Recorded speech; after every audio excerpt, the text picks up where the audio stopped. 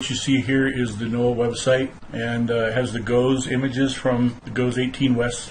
We're going to go to Hawaii here, click on that, and what you're going to see here are the different types of weather that the satellite takes photos of. Notice that the state of Hawaii is in all of these images. Even as we scroll down in the page, you can see that the state of Hawaii outline is in all of these images. So we're going to go to the loop here, and I'll show you the state of Hawaii is also in that frame. Keep in mind this is for the month of September. Now, after searching for archive images of Dora, 2023 Pacific storms. The fifth one down is Hurricane Dora. So going to click on that. So as we look at the image over here, it's more up close to Dora and it excludes the outline of the state of Hawaii. So as we scroll down in this page, you can see there's four data entries for August 8th for Dora. So as we take a quick look of the loop of Dora, we can see that the outline of the state of Hawaii is not in any of this loop or the images. So I went out on the internet to look for Dora in an archive, hopefully with a loop. I ended up finding an archive of Dora on a Colorado weather website, and it used the same imagery from the GOES 18 satellite. What you'll notice here on the left side are entries for Dora's imagery, and there's eight uh, entries per every 24 hours. So that's one image every three hours in a 24 hour period.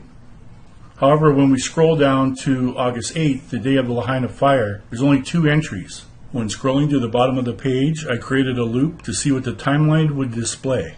From here, my attention was drawn to the bottom in the timeline where it says August and for each day and the UTC time or military time to see what the changes would be. Pay close attention as it travels through each day. Right when it gets to the 8th, you'll see a quick jump. And when I stop it, you'll see it go from 1800 UTC time to 2100 UTC time then it goes to the ninth at 0000 hours. So there's 13 hours of time or images missing from this loop. What happened to these images? I don't know. I can only speculate. But I'm under the impression that somebody doesn't want us to see something here. Please feel free to share this video. The links to these websites will be provided below in the description box.